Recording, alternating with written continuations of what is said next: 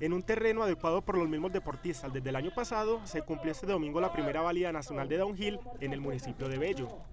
Una competencia muy exigente, una pista muy seca porque no llovió aquí en Bello, mientras en Medellín llovía aquí no, entonces lo que hace las condiciones de la pista más difícil.